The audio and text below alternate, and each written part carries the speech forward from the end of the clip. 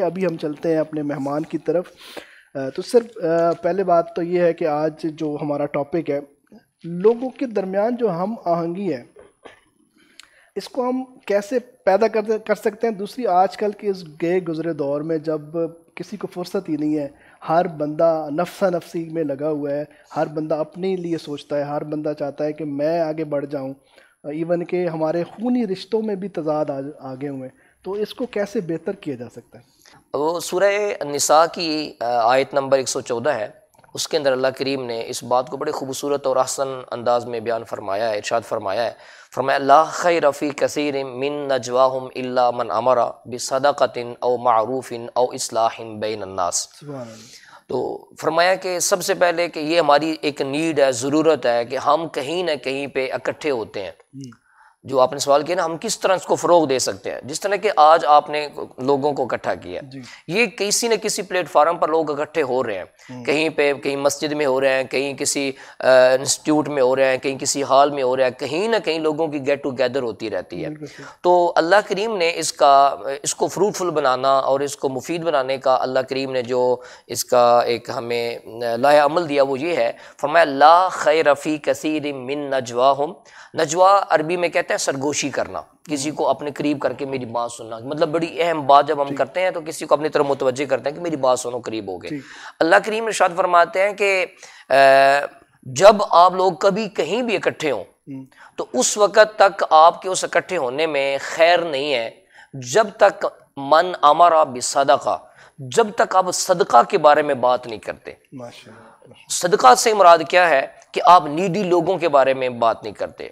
आप वो जो हेल्पलेस लोग हैं जो आपकी मोहब्बतों शफकतों के मुंतजर हैं उनके बारे में जब तक आप वहाँ पे बैठ के आपस में सर नहीं जोड़ते तब तक आपका इकट्ठे होने का कोई फ़ायदा नहीं है। तो ये बड़ी एक दुख की बात है कि हमारे यहाँ जिस सोशल मीडिया पर या जहाँ कहीं पे लोगों की गेट टुगेदर होती है तो उनके जो मफादात होते हैं वो कुछ अजीब किस्म के होते हैं। उसमें हम इस बात को तो बिल्कुल पसे पुष्ट डाल दिया हुआ है कि इस पर हम बात करें कि यार हम आपस में इकट्ठे हुए हैं तो हम बात करें कि हम नीडी लोगों के काम कैसे आ सकते हैं? हम लोगों के खैरखा कैसे बन सकते हैं? हम लोगों की तंगदस्तियों में लोगों की कंपरसी में लोगों को जहाँ कहीं हमारी ज़रूरत है वो हमारे रिश्तेदार हैं हमारे नेबर हैं और कहीं जहाँ तक हमारे दोस्त अहबाब हैं रिश्तेदार हैं उनको हमारी कहीं ना कहीं तवज्जो की ज़रूरत होती है। और वो कई लोग ऐसे होते हैं जो हमें अपने लफ्ज़ों से या अपने इशारे कनाई से बताते नहीं हैं लेकिन ये हम पर लाजिम है तारिफ़ुम बिसी माहम ला या सलून्नाफा कितने ऐसे माशरे में लोग हैं जो आपसे सवाल नहीं करेंगे लिपट लिपट कर लेकिन तुम्हें पर लाजम है कि उनकी शक्लों से उनकी उन एहसास से उनको फील करें महसूस करें कि ये लोग हमारी तवज्जो के मुस्तक है। जब तक आप वहाँ इकट्ठे होकर इस बारे में बात नहीं करते लोगों को इकट्ठा करके कि किस तरह हम माशरे में जो है ना वो लोगों को एक लोगों के काम आ सकते हैं उस वक्त तक आपका इकट्ठे होने का कोई फ़ायदा नहीं है। और आगे आगे फरमाया ओ मारूफ।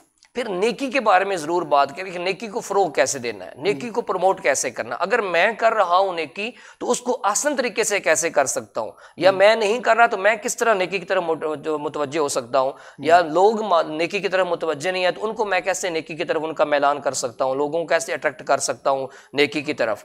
और तीसरी बात फरमाया ओ इसलाहिम बैनन्नास जो हमारा टॉपिक है। फरमाया कि फिर जब लोगों को इकट्ठा करें तो लोगों को कहें कि लोगों के जो किबले टेढ़े हैं इनको सीधा करें। हम्म। लोगों को एक प्लेटफॉर्म पर जमा करें लोगों को एक मनहज पर जमा करें इसलाहिम बैनन्नास लोगों के दिलों को आपस में जोड़ें लोगों के जो इख्तलाफात हैं लोगों के जो तफावत हैं हम्म। उनको आप किसी न किसी तरीके से सुलझाएँ। और उन गुत्थियों को सुलझा कर लोगों को एक प्लेटफार्म पर जमा करें लोगों को मोहब्बत की लड़ी में परोएँ लोगों को लोगों के अंदर हम आंगी पैदा करें वो बैन मज़ाहिब है वो बैन मसालिक है या वो हमारे जो कबायली सिस्टम है जो ख़ानदानी सिस्टम है उसके अंदर कुरान की तरफ़ से ये हुक्म है कि जब भी आप लोग इकट्ठे हों तो इस बारे में ज़रूर जो है ना बातचीत करें इस बारे में ज़रूर इस पर डिबेट करें कि हम लोगों को इकट्ठा कैसे कर सकते हैं। हमारे यहाँ तो ज़ाहिर साहब लोग रिसर्च करते हैं कि हमने इख्तलाफ कैसे करना है। हालाँकि रिसर्च करनी चाहिए कोशिश होनी चाहिए कि हमने लोगों को इकट्ठा कैसे करना है।